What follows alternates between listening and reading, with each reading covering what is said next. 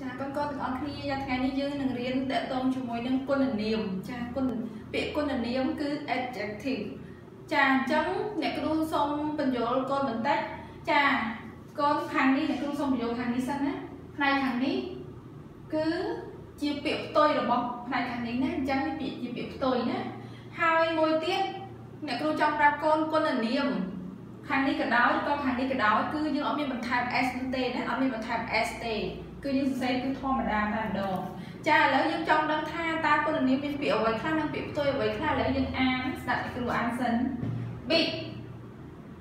little new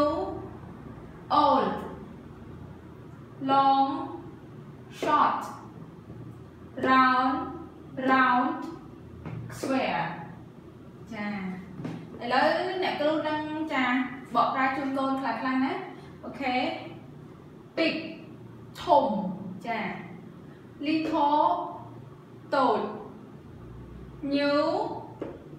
ថ្មី old ចាស់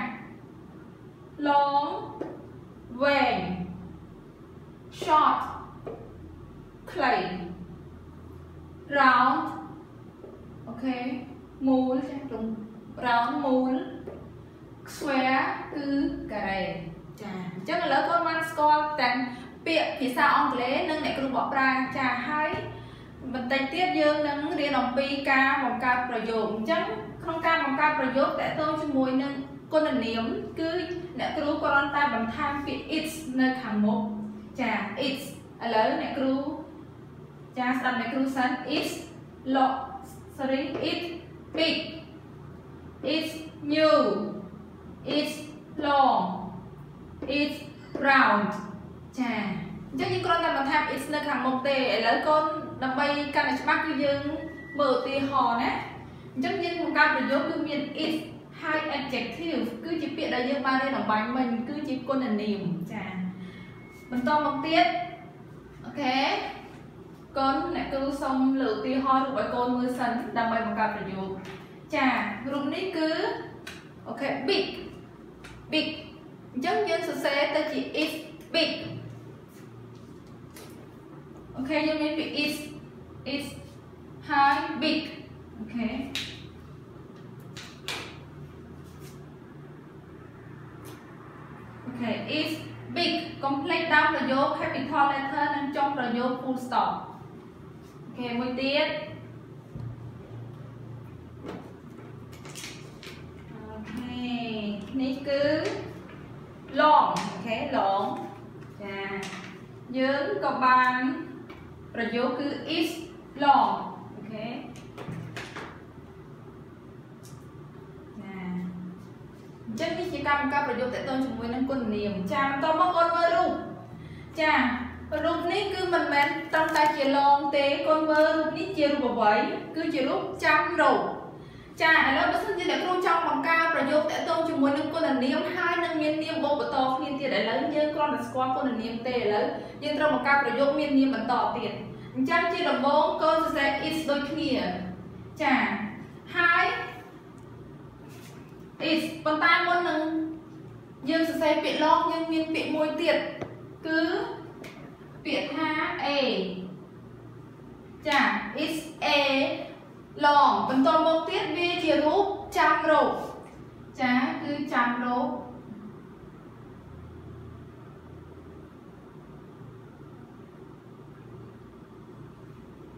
ចាអញ្ចឹងកូនយើងសេ is ហើយ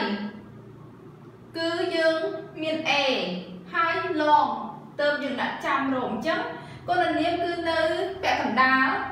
កណ្ដាលនៃ a ហើយនឹងចាំរូប អញ្ចឹងយើងបញ្ជាក់ច្បាស់ថាជាចាំរូប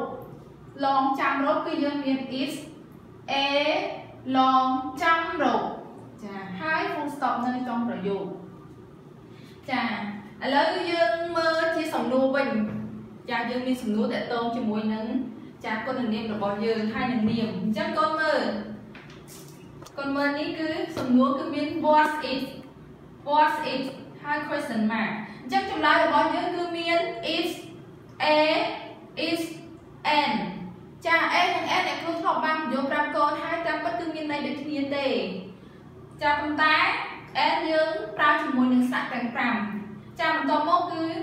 មាន adjective ពាក្យដែលយើងរៀនអម្បាញ់មិញបន្តមកគឺ noun ឈ្មោះរបស់វត្ថុអញ្ចឹងអ្នកគ្រូសូមលើកឧទាហរណ៍ជូនកូនមួយណាអូខេកូនមើលអូខេនេះ was it អញ្ចឹង is បន្តមកទៀតអូខេនេះគឺជារូបចា box box អញ្ចឹងអ្នកគ្រូអត់ដឹងថាយ៉ាងម៉េចទេឥឡូវអ្នកគ្រូសូមដកពាក្យមកមួយដើម្បីបញ្ជាក់ថាតើ box ហ្នឹងជាមានប្រភេទយ៉ាងម៉េចខ្លះអ្នកគ្រូសូមដកពាក្យមួយហើយនឹងដាក់មកខាងមុខទើបកូនដឹងថា box ហ្នឹងគឺយ៉ាងម៉េចគឺចាឥឡូវគឺ box ហ្នឹងគឺ old ចាអញ្ចឹង យើងបាន is an old box ចាហេតុអីអ្នកគ្រូប្រើ an ដោយសារតែ old ផ្ដើមដោយស្រៈ o ដូច្នេះហើយស្រៈ o គឺយើងប្រើជាមួយនឹង n ចាយើងបាន is an old box ចាឥឡូវយើងមើលឧទាហរណ៍នៅខាងក្រោមចាអ្នកគ្រូសុំរូបភាពខ្លះយកមកដាក់នៅខាង okay what's it okay what's it ចាំមើលចម្លើយទាំងអស់គ្នាអូខេ is a new car ចា is គឺ is a new គឺជាគុណនាមចា car គឺជានាមចា is a new car អូខេឥឡូវនេះគ្រូសួរឡើងទៀត what's it អូខេចាំឆ្លើយទាំងអស់គ្នាអូខេ was it is a little robot ចាអញ្ចឹងយើងបានរៀនស្គាល់អំពីគុណនាមការបង្កើតប្រយោគតកតងជាមួយនឹងគុណនាមចាសំណួរចម្លើយអញ្ចឹងគឺអ្នកគ្រូមានលំហាត់ខ្លះអញ្ចឹងកូនចូលលំហាត់របស់យើងគឺនៅ page page 2 3 sorry 1 2 and 3 ចាអញ្ចឹងមេរៀនដែលអ្នកគ្រូបានបង្រៀនកូនអំបញ្ញមិញកូនអាចធ្វើលំហាត់នៅ page ទាំង3នេះបានចាអញ្ចឹងសង្ឃឹមថាកូននឹងស៊ូស៊ូទាំងអស់គ្នាហើយធ្វើឲ្យបានត្រឹមត្រូវទាំងអស់គ្នា